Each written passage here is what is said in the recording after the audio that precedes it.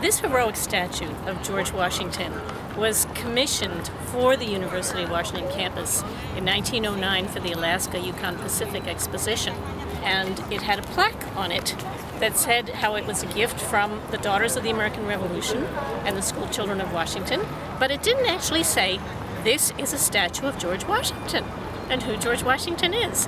And over the years, especially as we get more and more foreign visitors, people ask, who is that man in the cape? So, a hundred years after the original gift, the Daughters of the American Revolution raised money for a second plaque, which explains who George Washington was and why he was important.